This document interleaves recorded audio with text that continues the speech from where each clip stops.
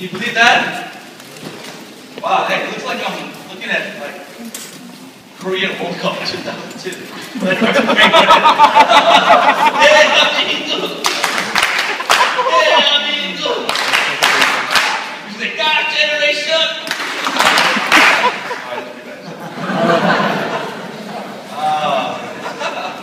Man, I think it's a bad idea to eat tacos, man. Oh my goodness. I had like mad cancer, man.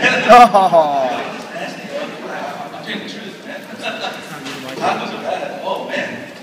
Uh, but hey, hey, this is the last night, and uh, instead of me uh, uh, giving a sermon, uh, God laid upon my heart to uh, to share my testimony. And I know maybe some of you have heard my testimony, but I just wanted to kind of share it to you. It's been, And as I was preparing this, you know, our next our next set of verse, you know, First Peter 2 9 says, "But you are chosen as a royal priesthood, a holy nation." And holy nation, and the next one was, uh, what was the next one? Was that again? Yeah, people, people belonging to God. And the next one is bringing praises to Him. Right? Bringing praises to Him. When I'm thinking about that, bringing praises to Him, I'm thinking that verse is saying to me that, that God is good all the time. That God is good no matter what is going in your life, no matter what happens from this point on, that whatever you endure, whatever storm that you take, whatever storm that brings your way, that our mouths should always say that God is good all the time. And that, that's what we always say, right? We always say, God is good All the time. all the time. God is good. Okay, one more time. God is good All the time. all the time. God is good. That's, that's the thing that you got to keep saying over and over and over. And when you hear my testimony, this is what I want you to constantly remind yourself. Constantly play that in your mind. God is good all the time. Okay, that's what I want you to think, be thinking. God is good all the time. When we say all the time, it means not during the happy times, but it means during the worst of times. Every single moment of your time, God is good all the time. I want you to think about that. Lord Father, thank you so much. Thank you for the opportunity for me to just to come up and just give my give my testimony. And Lord, I, I know I've said my testimony many, many times, Lord Father, but I know that every time I'm able to share that I know there's somebody here that gets touched and blessed. And I pray that you will just once again use the Holy Spirit to touch all of us and for us to learn and to know that truly, yes, Lord, no matter what happens, no matter what goes on, or no matter what's going to come in our future, Lord, you are good. You are good all the time. We thank you, Lord. In Jesus' name we pray. Amen. So, you know, for me to start my testimony, I always got to start out with my parents, okay? Uh, starting off with my parents, this is the first one is my dad, you know, when growing up, used to tell me, like, he was in the Vietnam War, okay? He was in the White Horse. Anybody know White Horse? Pigmont. Pigmont Tuk Tuk Did I say it right? Pigmont Tuk Tuk whatever. Right, so he was in the White Horse. They, they say it was similar to like the Navy SEALs or Green Beret like, of America, right? He was really but I was like, ooh, cool dad, man. You're a White Horse, man. I was like, but what did you do? I was a translator. I was like, that's messed up, yo. I thought you were gonna kill some people. but then he would tell me stories where, like, he, he, you know, Vietnam War was a crazy place to have war. And he was telling me, like, he would sleep with his buddy, like, his partner, and they, they couldn't sleep, like, just laying down. They had to be back to back and with their helmets on because they always had to be ready. And they said the jungle was so fierce, like, like you didn't know which way or who were, were coming. And he was saying there would be rain all the time. And he said that, like, when they hear, like, let's go, let's go, he's like, let's go, and then his friend would be dead, you know, like, shot. And he's like, he's seen so many horror stories. And he's, he was telling me a story where he was in the truck, like, transported to another city, and he was at the end of the truck. And he was saying that he was so sleepy that he took his helmet off and he's like, oh, I gotta sleep a little bit, right? My dad can sleep anywhere. You know, he's like, oh, I gotta, I gotta sleep. And then he was sleeping, and it's one of those trucks where they carry the armies, right? So they were driving, and then all of a sudden the truck hit a bump, and my dad flew off the truck, right? He fell down, and my dad said that right when he fell off the truck, a bomb came and hit that truck and killed everyone in there, right? As he told me. I was like, Dad, thank God that you're alive. right? Because it wasn't, I wouldn't be here, right? right? Think, think, think, okay? so I was like, oh man, that's a crazy story, right? I said, man, God was with him, right? And my mom, you know, growing up, I was telling my mom and my mom is was the, was the sixth children, right, out of 12. She was like right in the middle. But the thing is, six children above her all died, right? So my grandma was telling this story. My grandma was telling me, yeah, your mother was six when she was when she was born, and she had trouble. That one day, like one night, my mom just stopped reading. Right? My Harmony, so like you know, my Harmony went through so many deaths of children, and so total right now there are six living, but there are six that passed away. Right, So she's used to all this, right? And back then, I don't know, they had a lot of babies. Okay, so like when my mom was born, she stopped reading. My Harmony said, "Oh, one like just I was like, really said that." Like, just chancellor, no? wow, what you said? No. because she, she, she went through something. And she said that she was going to bury her next morning. And then when she woke up next morning, my mom was breathing. And mommy said, oh, salam No joke. And then so like, my mom, like, she, she, she, she had some complications, like growing up. She, had, she was really weak. And because of her, uh, like, she actually, like, survived the whole disease and all these different things. And, and she, she, she was to carry a baby. And she would pray. And my mom was a God, my mom was a godly mother. And she prayed and she prayed and she prayed. And she said, Lord, give me a child, give me a child. And she went to acupuncture and, you know, all the, the hanyak and inside and all the things you can think of that your mom trying to teach you. Like, I don't know that stuff. But she ate to drink all that. And, and finally, finally, she got pregnant. Finally. And when she got pregnant, it was me. Okay? I, I, I beat out the millions and millions of other people trying to be born. okay? So, so I've, I've, I made it. Praise the Lord, right? So, so that's the first time I got clapped. I'm a winner. so, that's why, I'm the only child. I'm could not have another children. She couldn't, she couldn't have another. So I grew up being the only child. Now, you know, my mom's friends will always say like, oh, you know, I know you had a hard time and having a children and oh, you're, you're 아들은 나 so 부드네 아들. You know, like, dude, just I'm just man.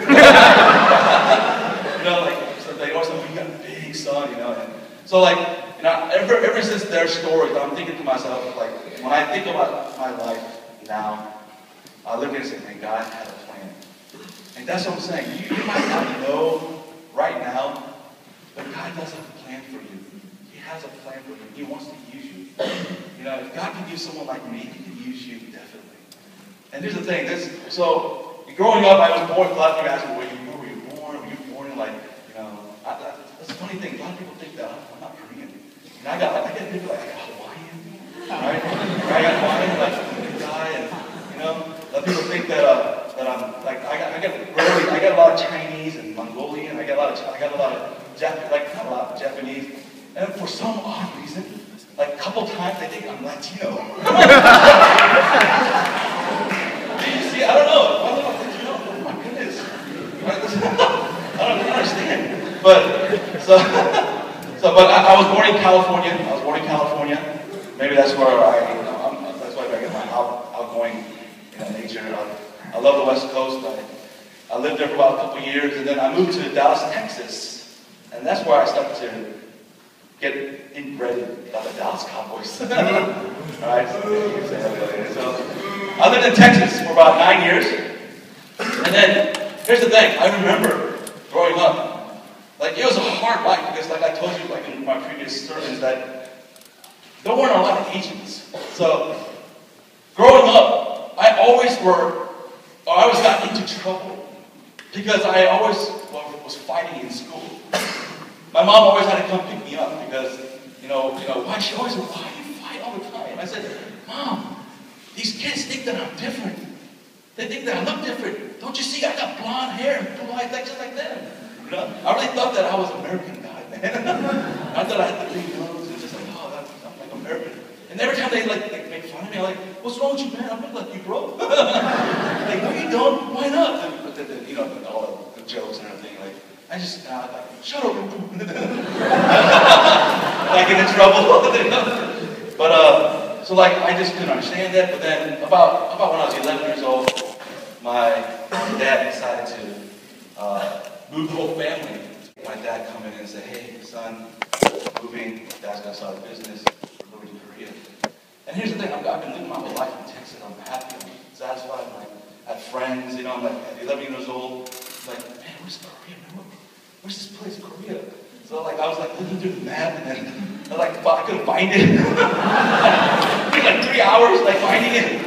And then I come across it, and I see Korea. I'm like, oh. And I'm just staring at it. And I'm like, oh my gosh.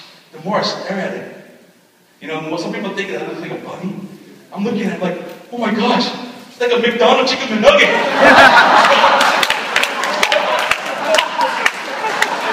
you look at it, it's like a McNugget, you know?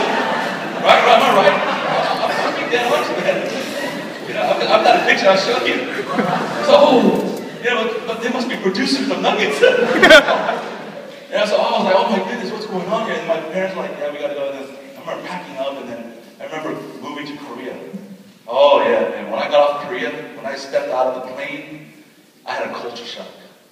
When I came off the plane, I was like, finally everybody looks like me. I was like, everybody smells like me. I thought, oh my goodness, where is this place? I couldn't speak Korean that well, you know, and I was just like, oh my god, where, where am I? And I remember, you know, like, you, you know, Korean people come here, they call me father, right, fresh off the boat. I remember my friends calling me, yo, you bug. What's that, man? You back on boat. you know?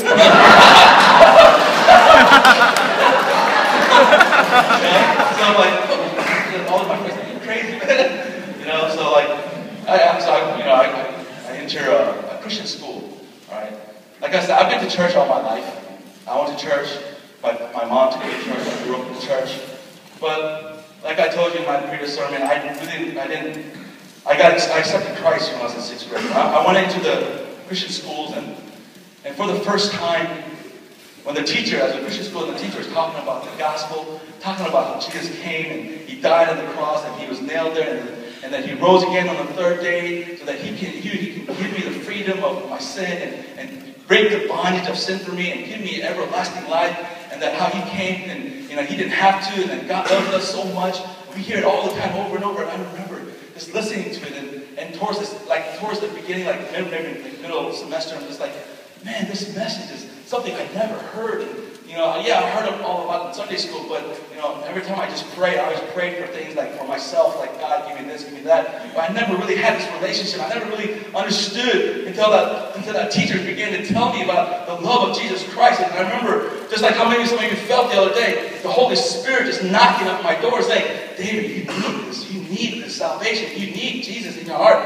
And I'm just fighting with my old, my fleshly desires, like, no man, I can't do this. And I remember the teacher always saying, you know, the teacher says, all right, if you want to receive Jesus Christ, come up here to the altar. And everybody's heads down, you know, like we always do. And I remember just sitting there, like, should I go? Should I not? Should I go? And, my, and the Holy Spirit, they push me, go, go, go. And then the teacher's like, you know, one last call. You want to come up and accept Jesus Christ? Come. I'm like, oh, but I didn't go. I didn't go. So I didn't go, but I went home. I went home that night. And then, uh, when I was sleeping on my bed and I was laying there, I, just, I couldn't sleep. I was tossing and turning. I was like, what is this feeling? What is this thing that's, like, that's making me go crazy? And I just like, oh, Lord, if you are true, if you, if you are what you say you are, then I need you. And I knelt down on my knees and I accepted Christ as my Savior at sixth grade. And like I told you, I remember when he came to me, it's that love that, that you can't explain. It's like the tears of just joy, like, Lord, like the burden just came off of me. I'm like, oh, Lord, you're God. Oh, my goodness, Jesus, you're awesome. I love you so much. And I just remember just like, oh, just, oh, I just want to tell everybody about Jesus. I want to tell everybody. And I told you that when I came out, my mom was like, the wiggle that, you know. I said, Mom, I accepted Jesus Christ. And mom was like, oh, hallelujah. We had this like little get together right there, worshiping together right there, that moment. And was beautiful. And I, and I remember going the next day, and I remember I got, you know, met a couple of friends of mine, and then we just started this group called the AC Group. AC Group. Right? And the AC Group standing for Accountability Group. Man, that group was like, that, like so basically everything I told you up to this point, the sermons that I told you, is something that I want you to understand. We got together and this AC group, this accountability group, what we do is as soon as we sin, we get together and say, bro, I did this. And we pray together, and we start crying together, and we start pouring ourselves together, and just re- repenting together. You know, back then we couldn't text. Okay, there's no such thing as texting. I say, oh, bro, no, we I had to wait the next day. If I sinned, I was like, oh, Lord, I ask forgiveness for what I said. Oh, I, gotta, I can't wait till the next day. And I see my friends, I'm so, so ecstatic. Like, oh, brother, this is what happened. And this, so we formed this AC crew group, uh, accountability crew. And we had this slogan, right? We had this, we made up our own slogan. We were cool, man. We had this thing called shaking the gates of hell. Oh, that's awesome, right? What does that mean? Well, that meant that we wanted to go down to hell and shake the gates and say, ha ha ha, you're losing and we're winning. That's how, that's how pumped up we were. And I told you that we just grab people, and throw them in the bathrooms, and get saved. We, were, we were crazy. We were, we were just so excited. And I remember eighth grade came along and ninth grade, eighth grade just ended. And I remember my friends were like, yo, because they're military kids. They're like, yo, we got to move back to the States. And they're two, they were two of my best friends. And I'm like, yeah, yeah. And I remember they're saying, yo, man, when, when we leave, don't lose the fire. You know, you stay strong. You keep the fort down. I said, bro, don't worry, man. I got I got this, man. I got it. So they left. And I remember that whole summer, I'm just praying, reading. And I remember ninth grade comes along, high school, right? And it's a small Christian school, not a lot of kids, but still, it was, it was high school, and I walked in, I'm, I'm, I'm telling uh, like, these new students, they come in, I'm like, yo, man, let me tell, let you about Jesus Christ. They're like, yo, man, get off me, man. And it was a different response. It was a totally different, different response. And the more and more I tried to preach about the gospel, the more and more I felt like I was being rejected. And it didn't come to me until the end of, like, in about middle of ninth grade. I was walking to my locker, and I heard these friends of mine that I thought were my friends talking behind my back. And they were saying, yo, man, yeah, we're going to pick this party. You want to go? Yeah, man, that sounds pretty fun. And he goes, hey, but what if you do? Don't tell David. Because if he finds out, he's going to mess things up. Just keep it a secret. When I heard that, it crushed me. It crushed me.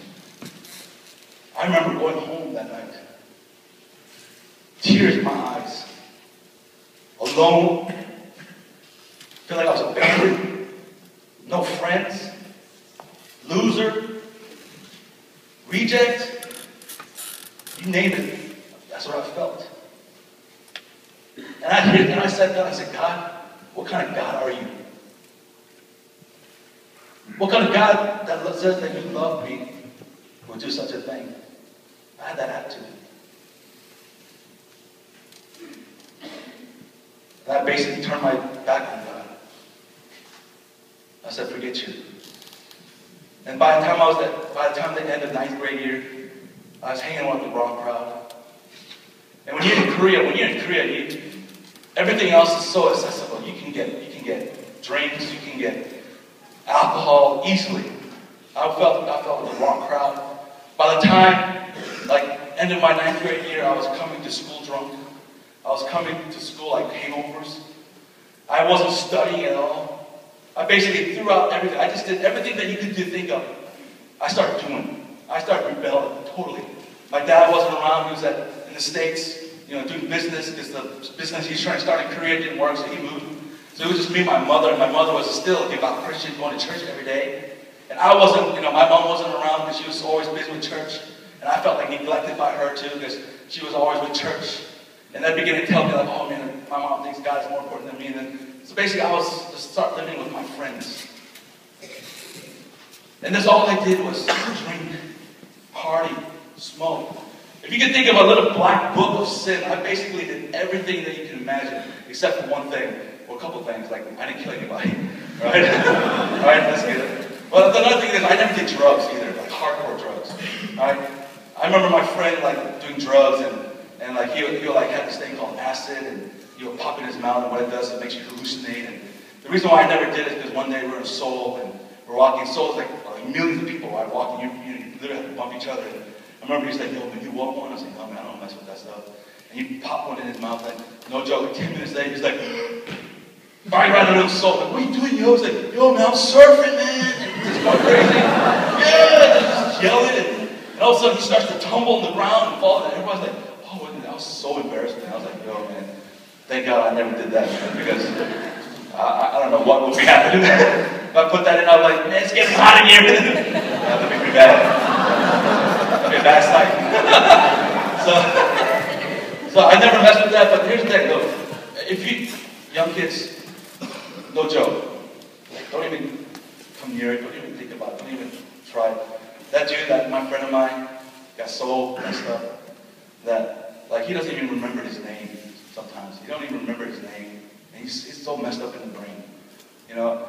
So drugs is not, don't never do, don't do drugs, right? Don't do any of these things that you think is cool or popular or whatever.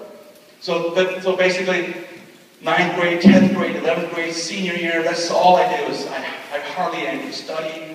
I didn't do any, any uh, and, you know, everything I did in high school was just like, basically, I didn't do it on my own. I, I was a bully. I became a bully. I made kids do my homework. And I, you know, cheated my way through whole high school. And, and the school that I went to was always a school that wasn't like the best educated school either. The Christian school, it was kind of small. And, and the reason why I did it is I had this one class in senior that was Hanmun, right? And, and so, you know, like, Hanmun is a Chinese character. And I remember, like, the night before, I would get this, I would make a little cheat sheet, okay? And I, I remember, like, during the class, I would just cheat on my thing. And my Korean teacher was pretty cool. Like, she's like, you know, like, hey, just whatever, whatever. The thing is, everybody in that class was getting A. And I remember my principal saying, coming in through the final and saying, yo, I don't believe everybody here is getting A's, except for you, David. And he's calling me out. Thinking, I don't believe you're getting A. And I was sitting way in the back, right? It's like, you gotta come to the front. I was oh man. I remember pulling my stuff out and going to the front and just like sitting there. He goes, whatever you get on this grade is what you get the grade for the entire year. I was like, yo, that's, that's, that's messed up. And I was sitting there and he's like, I'm not gonna leave the class either until you guys finish. I was like, oh man. So I was just doodling on my paper? And I was like, oh my goodness. And then I remember, like, no joke, like 15 minutes before class was about to be over, secretary runs up and says, Principal Newman, you got an urgent phone call, you gotta come down. He's like, what, I need to go? I said, yeah, this is so urgent. And I remember, like, he was terminated. He was like, yo, I'll be back. and he, he left. Oh my goodness. When he left, I pulled out that cheat sheet. Oh. Like, oh. And when, when you do a hum, it's so hard. You know, you're just basically drawing. And I'm doing this, and, all of a sudden, like, I get this tap on my shoulder because I totally forgot that the Korean teacher was still there. And I'm like, and the teacher like tapped me on my shoulder. I looked up and she was like, and I was like, and, I, and then I remember, like I'll never forget the words. She was just looking and said, "Body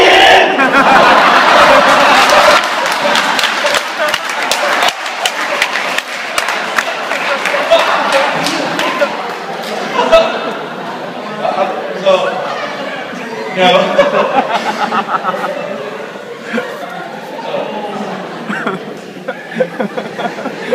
A great teacher.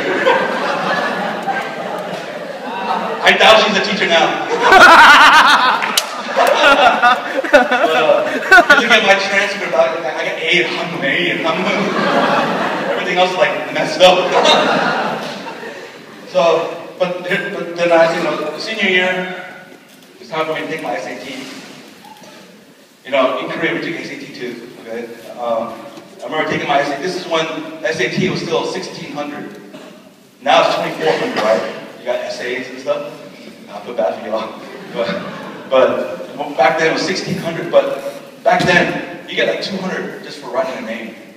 Well, I was so messed up and so like uneducated, didn't really care that I took the SAT and no joke, I only got maybe like a 600 something something. And somebody like your face like, oh man, you're dumb. and I got exactly like I think I got 630 on my SAT. All right. The thing is, you know, I'm a man, right? So I'm like, oh, I do it again, man. Even though that's, even though I really didn't care, I still wanted to try again, right? So I checked the second time. I should be in the Guinness Book of World Record. I got the exact same score. 630. Is that possible? Either I'm incredibly smart, but I'm picking my answers right. But I don't know what it was. I got exact same score. I'm like, what in the world? Like, the only thing, only difference was math and English was switched. like, dude, man. So I'm like basically said, man, okay, I'm not going to college. No college is going to accept me. Uh, I said, but you know what? I didn't care. I really didn't care. And what happened was, Lord behold, like I put my applications in, and you know, obviously I didn't hear anything. But there's one school that did. I hear back on, and that was Liberty University. Anybody?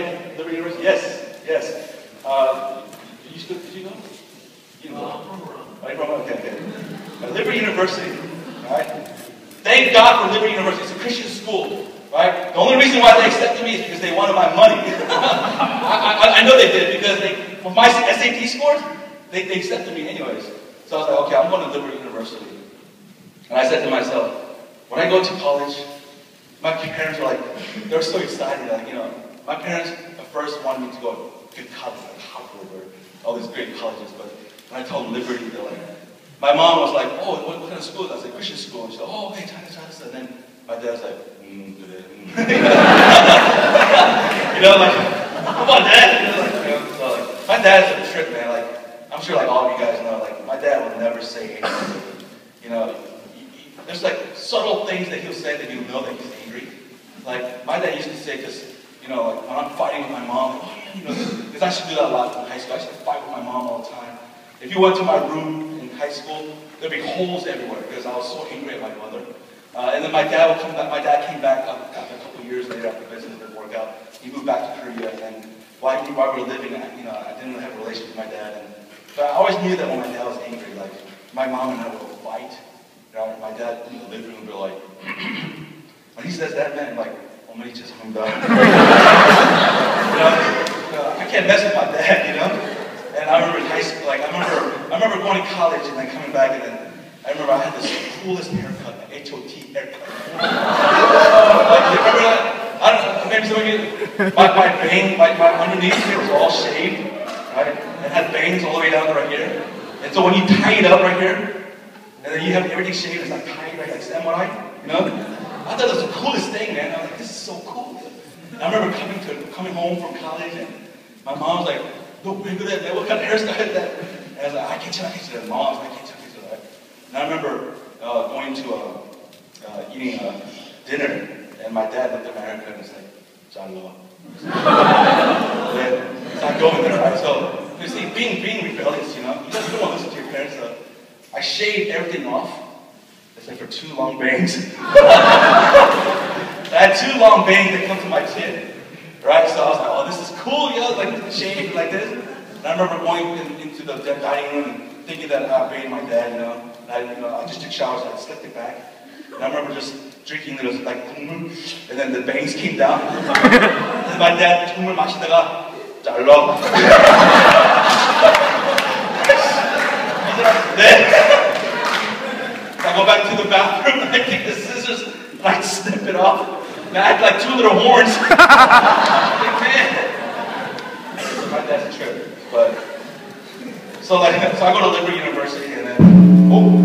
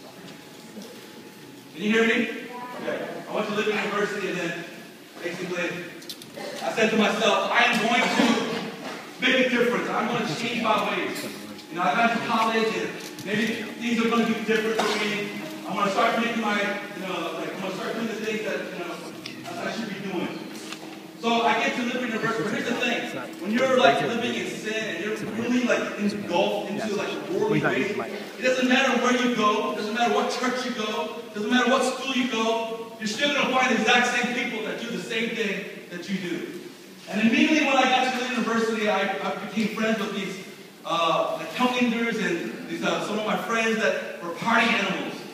And basically, throughout my whole freshman year in college, that's all I did was party again.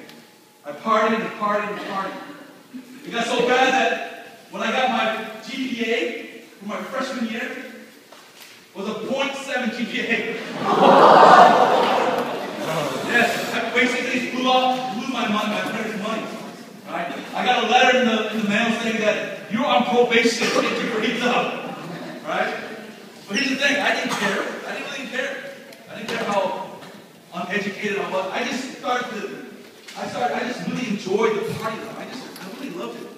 I loved just, you know, getting wasted and, and not caring and living life carelessly. And this is how it began, like freshman year, sophomore year. And then when junior year came, that's when God, I believe, the reason why I always tell you to that, you know, I make these little silly illustrations like this, this, this, because no matter how much I was living in path, God was still.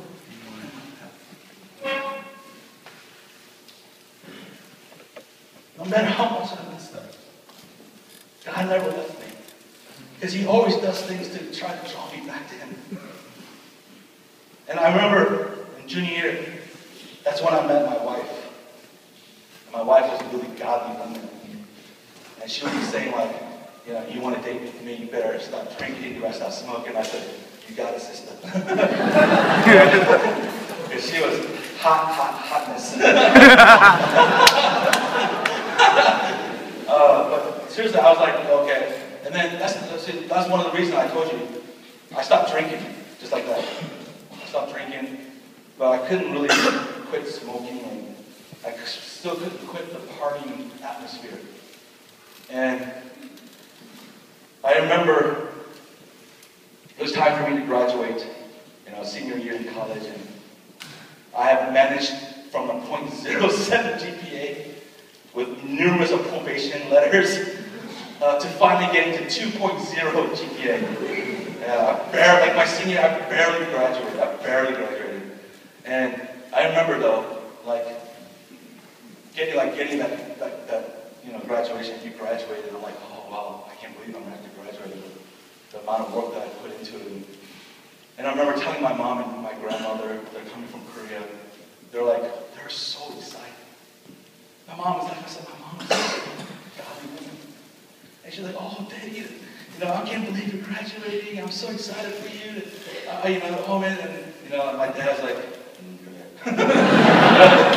he's not really happy. And my mom's like, I'll be there. And I remember, so we went and uh, graduation was May, I was still remember May 7th, 1997, on a Saturday. That Friday, that Friday morning, my mom came from Korea. So this is Lynchburg, about three and a half hours from Dulles Airport. I drove all the way, I, I mean from there, from Lynchburg, I drove up to Dulles Airport. And I picked up my mom and my grandmother from Korea. And Thursday night, before I went to pick them up, Thursday night, I was at a party. And I was just smoking and at a party scene. My wife, my wife didn't know where I was. And I was just kind of just sitting there. And I had this little, like, what do you call it? Epiphany? Or whatever. Yeah. You see, you can tell that I'm not very, my, my very hard time with vocabulary words. Some of you, like, like yesterday, like, I say, like, Philimian. It's hard for me to read sometimes. Because that's how that's how bad, like uneducated like I was. Because I basically didn't study at all. I mean, like it was terrible how much I didn't study. And I tell that's why you know I tell my kids, I tell everybody, you, gotta study, man. You gotta study really. You know, that's your that's your responsibility. That is your will right now as students. You got to study. So that Thursday night, I remember just smoking a cigarette, and I remember sitting there, and all my friends are partying, and I'm like, man. I had this thing, I was like, you know what? For some reason, I feel like God is going to punish me. I just had that feeling, God is going to punish me. But the thing is, you know, back then I think it was punished, but, you know, as we heard, like Pastor Jacob said, you know, I don't think God punishes, He disciplines those that He loves. Just like any parent would do. Any parent would discipline their child if they're going the wrong way. But for me, at that moment, I was like, God's going to punish me. God's going to punish me. and that Friday, I went to pick up my mother and my grandmother. And, and as we were coming down, 29, I was kind of late for rehearsal. I was going about 85 miles per hour on, on 55. And I remember driving, it's in two lanes, like cars this way and coming this way. And I remember driving. And I remember just looking and just feeling like a little guilty because my mom's so happy, but I really did put my effort into it. And I remember just looking in the rearview mirror, and my mother's just smiling. She's always smiling. You know, oh, she's so proud of her son. And I remember my grandmother was sleeping, and, and my wife, you know, well, my, my girlfriend back then, she was sitting next to me, and they were both sleeping. And I remember just looking at my mother and saying, oh, you know, I got to do better. I got to do better. And at that, at that split moment when I was thinking that, right in front of me, I see a car coming right at me. The car, there's a car that was turning into a lane like this. And immediately when I looked at that car, I'm like, oh my goodness, I'm going 85 miles per hour. If I don't do anything right now, I'm going to hit red. I'm going to go face first right through that car. So what I did was I cut my wheel so fast. I was, it was like one of these, it's like everything's like a second. I was like, oh, and I cut my wheel. And I remember going my car going that way. And I remember all the cars coming this way. I said, I cut my wheel this way. By that time, my car is spinning. And all of a sudden, I just, just boom, and then everything blacked out. I don't know what happened after that. And I remember just, just, I remember the only thing that after that blackout, I remember somebody elbow me in my ribs. And I, I get up and I open my eyes, and what happens? My car is like landing on the side, and I'm on top of my wife, and she's she's wearing a seatbelt, and she's she's holding me, and she's jabbing me because she can't breathe. right? She's jabbing, she can't breathe. Right? So I'm like, oh, and I get up, and I'm I'm maneuvering myself, and then here's the thing: if there's anything that is horrifying, is when I turned around. And I saw my mother and my grandmother thrown out of the car. Their bodies was buried beneath the car. And I, I remember just looking at their feet. And I said, where are their bodies? And I remember like, looking around. I remember trying to open the door and, and it's jammed. I can't get out. And I remember like, what's going on here? And the only thing that was opening was that little back, little, little back window of the car. And I remember just going and busting that window. And I remember coming out. I remember running out to the to the side, the front of the car, and I remember here's the car, and here, and I see their body like inside, and I see my grandmother on top of my mother, and I remember just looking at everything's like a dream. I'm just like, oh my, oh my, get oh okay, There's no breathing at all. Everything is lifeless, and I'm just sitting there like, what's going on? What's happening? And by that time, it's amazing how fast like paramedics came. Like, uh, while I'm just thinking this, where blood is gushing out of my face ambulance came, police came, and I remember them just pushing me to the side, and I remember just, I'm just watching everything, what's going on. I remember them pulling off my grandmother, and flipping her over, and I remember her face visual, her tongue sticking out, her face is blue, and I remember the paramedic, hey, we need the helicopter, get it here fast. And then remember that they pulled her to the side, and I remember when they pulled my mother out of the car, it was still lifeless. And I remember when they, when they turned her over, the, I couldn't recognize her face because it was all bloody. And I remember the sigh, I remember the burden that just lifted up when I heard her go. When she breathed, I was like, oh, I was like, oh, thank you. Oh my goodness. I said, oh my there. And I remember my mom, when she had that breath, when she breathed, and there, she, I mean, she, she's not concentrating. She just like messed up, and she said, this is what her, this is what she was saying. She's like, 현석아, that's my Korean name. 현석아, 너 괜찮아? I said, 나 괜찮아, 괜찮아. And she goes, 은하는, that's my wife's name. 은하는 괜찮아? 괜찮아, 괜찮아. 할머니는, 할머니는. And I was like, I couldn't say anything. I said, 할머니 모르겠어. And the thing, the, the very next thing that my mom said, the very next thing that my mom said made me so angry at that moment. My mom said, 하나님 감사합니다. God, you are good. God, you are good. 하나님 감사합니다. I'm like, what? What did you just say? She's like, 한수이가 너 괜찮아? 어머니 나 괜찮아. 은하는 괜찮다니까. 할머니는 모르겠어. 할머니 병원 갔어. And she said, 하나님 감사합니다. 하나님 감사합니다. I'm just thinking to myself, how in the world can you be thanking God at this moment? How in the world can you be thanking God that allowed this to happen? And by that time, they pulled my mother out and they, they strapped her and they put her in the ambulance. And they took me and then, you know, they, they, this is so stupid. I just got, I, there's blood on my face and they're like, this procedure, you need to be strapped out on the bed. I said, no, Max, I don't need strapped in. Like, no, you need to. You just lie about. What the? They put this big neck thing on my neck. And I couldn't breathe. I'm like, yo, I just got to cut my face. You're to suffocate me. I'm to die going to the hospital. Right? And I'm like sitting there like, oh my goodness. And like, I get to the hospital and I remember sitting in the emergency room all by myself. All by myself. And I remember the doctor walking in and he came and he's checking out my scar, he's checking out my cut, and he's like, you know what, you need to get stitches. And he began to proceed and say, you know, this is the thing that's going to happen, this is what you have to kind of calm yourself down. He said, your mother, she needs a couple plastic surgeries. Her ear got cut off in half. Her chin to her, her mouth from her chin was split open that you could see her teeth. There were seven or eight places on her head were cut open because she's the one that broke through the window. And then she just needs a couple surgeries on her head, but she'd be okay. And, she, and he goes, but your grandmother. We examined her. Her being 77 years old, she broke all her ribs. She broke her shoulder bone, and one of the ribs is puncturing her lungs. She can't breathe on her own. I'm sorry she's going to die. And he walked out. And I remember sitting there, alone. Alone again. And I remember just putting my head down. You know, just wiping my tears, not knowing what's going on. My wife, my do- actually the doctor said that my wife had no scratches at all. And she walked out crystal clean. You know, she's the only one wearing a seatbelt. Know, I, wasn't, I wasn't even wearing a seatbelt. The, the last thing I remember is holding onto that steering wheel, right? But my wife was, that seatbelt, she had no scratch whatsoever. And she's waiting, at, she's waiting outside. I remember just putting my head down thinking, oh my, and I'm just replaying everything in my life, all the things. But the one thing that stuck in my mind that I can't get over was my mom saying, God, you are good. God, you are good. God, you deserve all my praises, no matter what. God, you're good. And I began to say that, God, you're good. God, you're good all the time.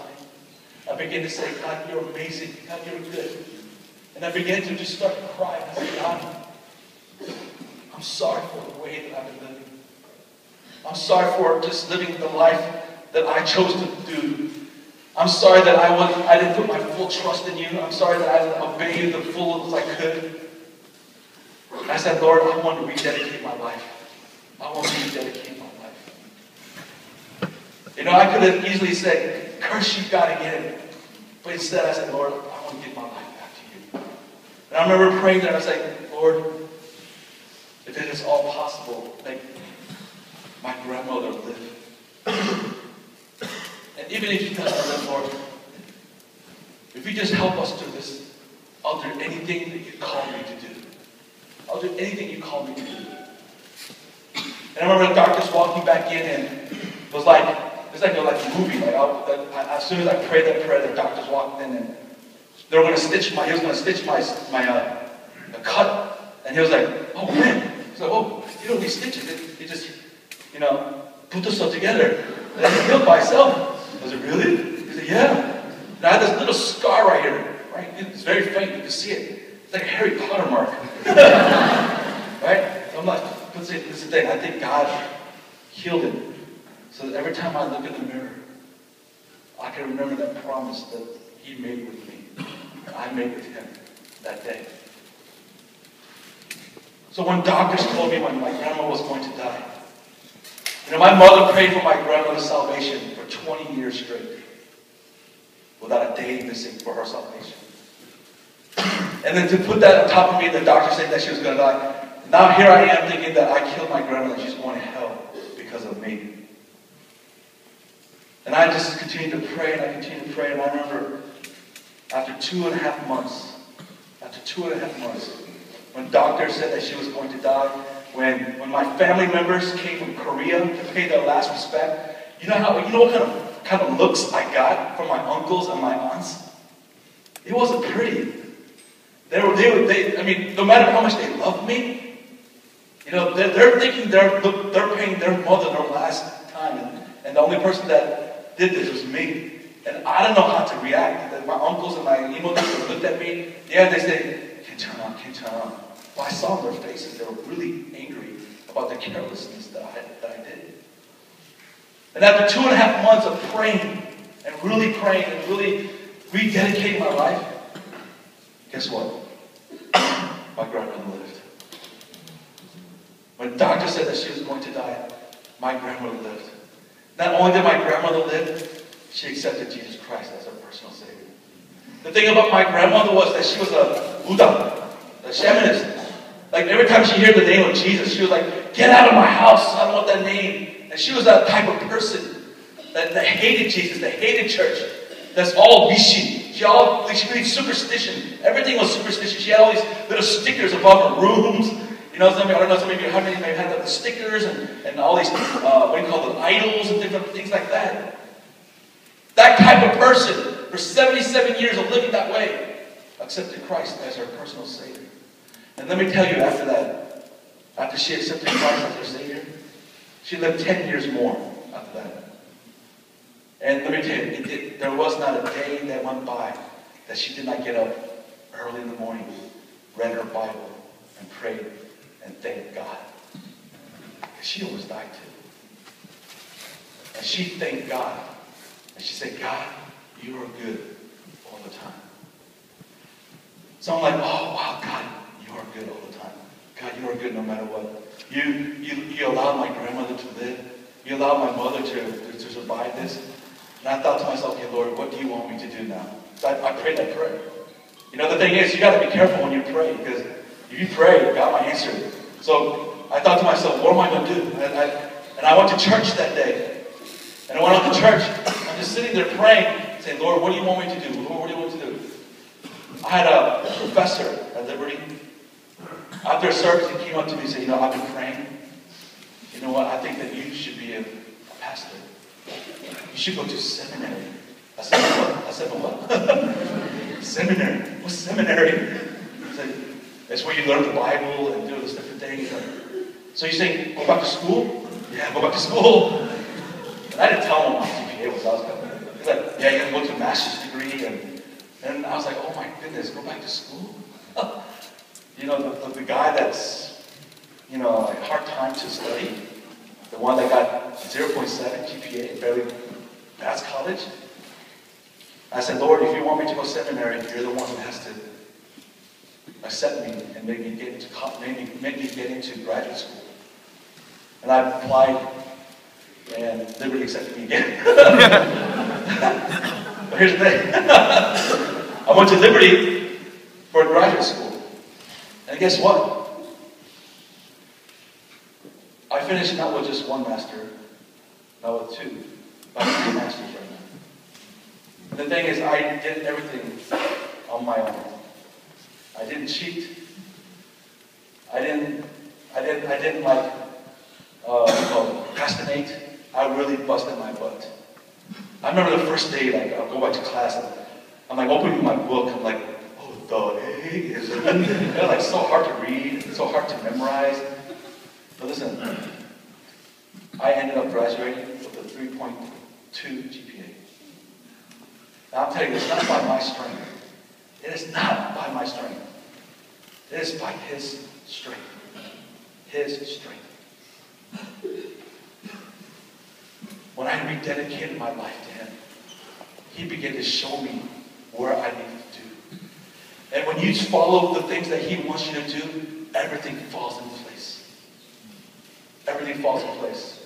Yes, everything falls in place, but there will be some bumps and bruises on the way. There might be some tests here and there to make you get stronger, to make you get wiser. But whatever path that you're taking through that road, that rocky road, whatever, know for a fact that you must stay faithful and must continue with your lips saying, God, you are good all the time. Because that's not the end of my story. After I get to seminary, after I enrolled, 1997, I enrolled in seminary in 19, uh, actually in 2000. Took a three year off And then got into, accepted into Liberty in the year 2000. Got married with my wife. And things are going great. And then our first child, my wife was pregnant. After about four months of pregnancy, my first child died. You know, in fact, Adelaide Tudor, I consider to be my second and third. Because the first one actually died in the womb. Now, as a man, I don't know the feeling of what it means. But my wife had a tremendous hard time at that moment. She was really depressed. She was sick. She was hurt. Because when you have a baby, it's, it's part of you. And it died inside her stomach. She had to get surgically removed it. And it was a very, very uh, pressing time at that moment. And then, that was four months into our marriage. And then, four months after that, four months after our first child died, I get a phone call at 3 o'clock in the morning from Korea. And I pick up the phone and I said, hello, whenever, whenever you receive a phone call at 3 o'clock a.m., and I said, hello? And I remember my mom saying, 형수가, 놀라지 마. I said, 왜 그래요? What, what happened? And my, my initial thought was, 할머니 돌아가셨어? Said, 아니,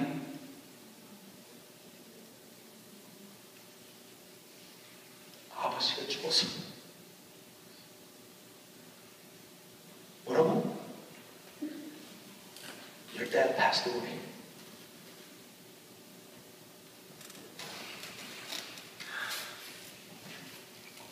어떻게 알아? What happened? 심장마비로 죽었어.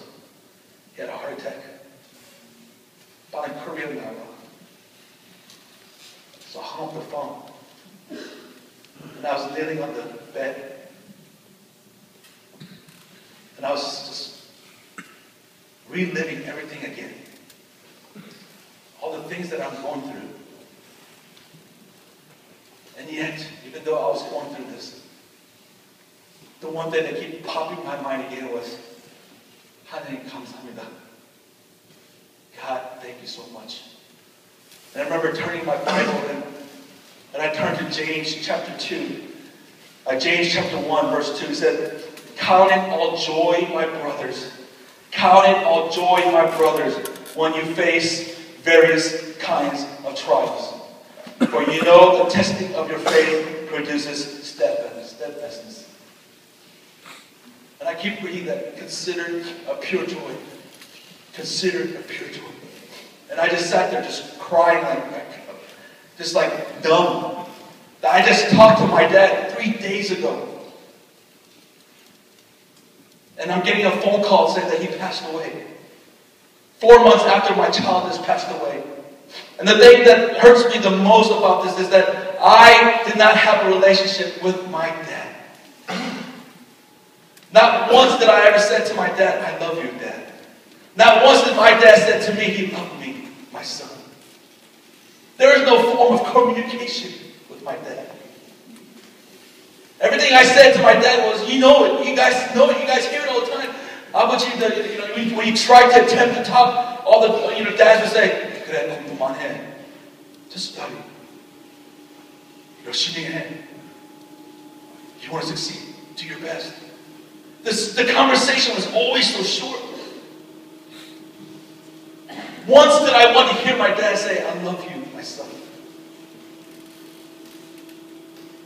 But then I blamed it on myself. I should have been the one to be more pursuing. I should have been the one that every day got up in the morning and said, Dad, I love you. I know we can't communicate because our language I know that you and I, we can't communicate because you speak Korean, I speak English. But I know one language that will, that will make a bond is, I love you, Dad. I should have made that, I should have made that stronger in my life. I know for a fact everybody here, you don't say that much to your dad. And I'm urging you, don't wait till the last time. Don't wait till things like this happen. Get it right with your dad. I'm so strong because I, you know I have a close relation with my mother. It seems like every Asian person I know is close with their mothers, but not with their dads. Young men who are here, you need to take the initiative to say, Dad, I love you. Let's go do something. You need to call your dads every once in a while from college and say, Dad, I love you. What's so hard of saying, I love you from your mouth to your dad? No matter what they've done, they, they, we're all sinners. They're, your dad's a sinner. I'm a sinner. We're all sinners. We make mistakes. They may have made mistakes in your lives. But there's no reason for you not to say, Dad, I love you.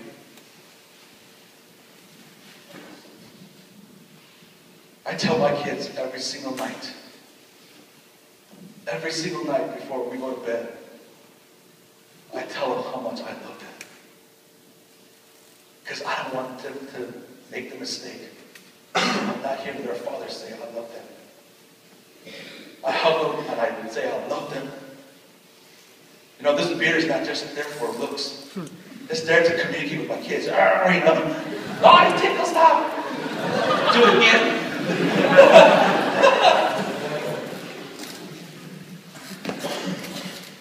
But I want them to know how much I love them and how much I'm proud of them. Listen, life is short. Life is short.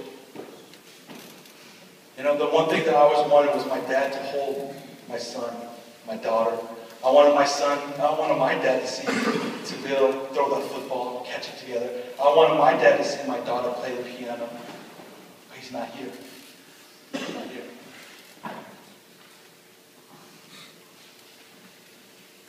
So I began to proceed my way to Korea. And I remember having to go into the morgue and I had to identify the body. What happened was my dad was hiking in the mountains early in the morning. And then when he got to the top of the mountain, he was hot and he took his shirt off or his jacket off. And the cold immediately came to his body. And that's when he began to have a heart attack.